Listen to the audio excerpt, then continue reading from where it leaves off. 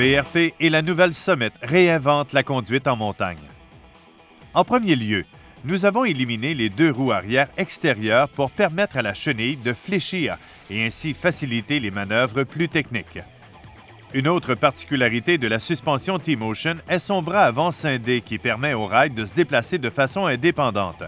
En plus de la suspension T-Motion, BRP innove encore une fois avec la chenille Flex Edge. Nous avons réduit la largeur des tiges de 16 pouces à 12 pouces pour permettre à la chenille de fléchir, ce qui facilite la conduite à flanc de montagne. Pour plus d'informations, visitez skidoo.com ou le concessionnaire le plus près de chez vous.